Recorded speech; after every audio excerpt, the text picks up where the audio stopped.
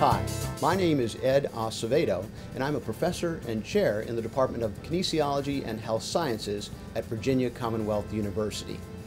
This series of interviews that we're conducting is in conjunction with the UCI World Road Racing Cycling Championships that will be held here in Richmond beginning on September 19th. Today, my guest is Dr. Janet Rankin from Virginia Tech University. Uh, Dr. Rankin is a professor in the Department of Human Nutrition, Foods, and Exercise. Highly regarded in the field, she has also been elected uh, in the past to serve as president of the American College of Sports Medicine. Welcome. I'm so glad you were able to make it here today, Thank Dr. you. Rankin. Yeah, thrilled to be here. Great. I think what I'd like to do is to start with making sure that you and I and the audience have kind of a general understanding of sports nutrition and nutrition itself. So maybe you can give us kind of a general description of nutrients, nutrition, before we start applying it to the cyclists that will be here. Okay. Yeah, the, the study of nutrition is basically what we eat um, and our requirements for those different nutrients. So you can talk about basic health connection to nutrition for the entire population. When you talk about an athlete, often they have special needs, sometimes because they expend so much energy or even specific nutrients that might be uh, required in higher amounts for athletes.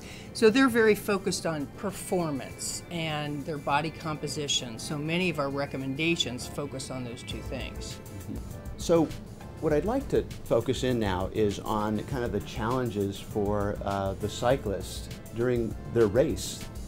So one of my first thoughts is maybe we'll start talking about hydration needs. Yeah, that would be the most extreme um, challenge, uh, it sounds like, for the race coming up here. Um, you know, about a five hour, very high intensity, uh, sustained high uh, work output. And that's challenging for multiple uh, reasons for nutrition, including calorie needs that can jump at least tenfold over what it is at rest. Uh, and in addition, if it is hot, uh, you'll have a lot of sweating. We have to cool the body. So we, we don't want to get overheated. So the way that we do that is through producing sweat that must evaporate.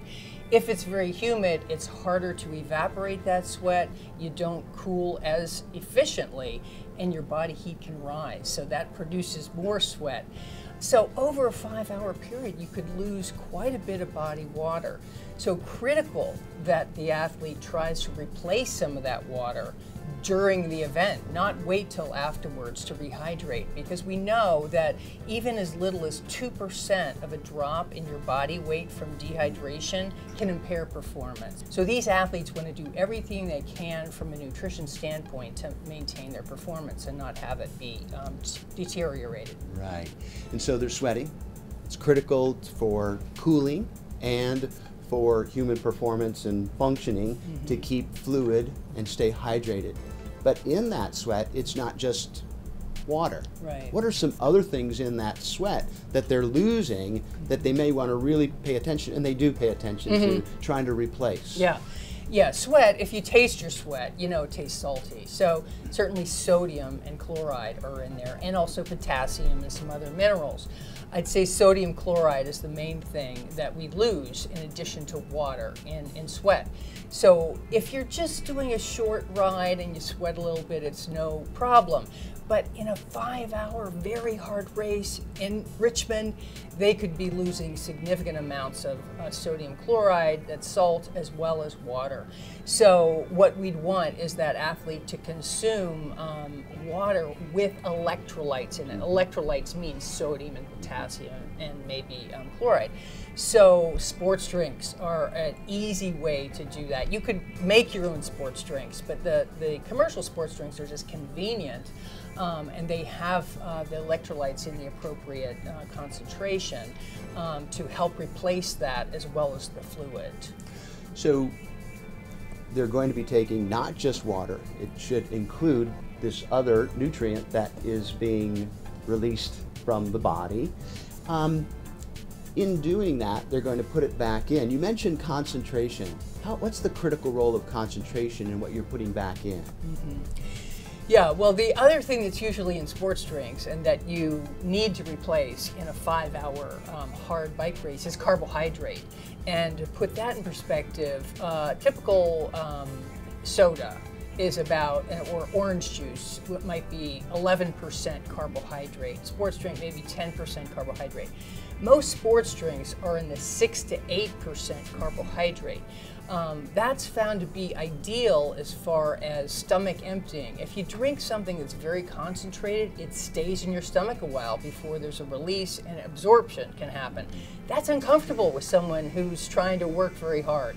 So most uh, commercial drinks are in that 6 to 8% carbohydrate range, and the electrolyte concentration is also in the range that is most likely to be absorbed well um, and not um, stay in the gut or in the stomach too long. So scientific studies have shown these are the concentrations, this is what's going to work best when mm-hmm. performing uh, endurance mm-hmm. sport in this case. Mm-hmm. Um, so let me just change the topic a little bit or, or transition to talking about a regular cyclist. Mm-hmm. I'm planning a 50 minute bike ride this mm-hmm. weekend mm-hmm. uh, with my wife, and we're probably going to mountain bike what do we have to worry about? What should we be doing? Yeah, I'd say primarily water. And I'm a cyclist. Uh, I'm a, you know not a competitive cyclist. I'm doing more of those kind of things. Sometimes multiple hour. Um, I take water. If it's an hour or less, definitely water is all I take. If it turns into a two hour or longer, I might have one water and then a sports drink, two bottles, and then maybe I have a snack, uh, some bars or something that I want to eat partway through. Um, hydration in just the hour long ride is the most important thing, especially depending on the conditions. Mm-hmm. If it's a hot, humid day, you still could lose a lot of sweat mm-hmm. within an hour. Uh, you have uh, made a commitment to working with organizations that try to have an impact on communities mm-hmm. to become more physically active. And one of those associations that I think you're linked with is Active Earth. Mm-hmm. Can you tell us a little bit about Active Earth? Sure, I'd be happy. I'm very passionate about this. Um, you know, we've been talking about cycling, for example, and uh, the average person in the United States anymore, we don't use cycling or walking for transportation much. We used to a long time ago, and actually many other countries have a very high um, proportion of people that will walk or cycle to their destination. Um, in the US, uh, it's about 3.4% of, of commutes are done walking or cycling. Over in Euro European countries, sometimes up to 50%. So uh, that is one way that we're um, not getting physical activity where we used to, or kids walking to school. Um, anymore in my community, the parents are driving them to school instead of walking or biking. So we're missing out on an opportunity to get more physical activity on a daily basis. And so this idea of active earth is that if we um, get more accessible and safe uh, uh, opportunities for active transportation, that'll help people be more physically active on a daily basis. We know that that's then tied to improved health and reduced healthcare costs. Um, it also has an impact our, on our environment. You know, we hear about global warming almost every day in the news. And in the US, about a third of the greenhouse gas production comes from transportation. So I think if we could enhance the use of active transportation, walking and biking for short trips, I'm not talking about your 20 mile commute that you're going to walk that, um, but actually 25% um, of trips are a mile or less. Um, that's walkable. Um, I walked over here about a mile.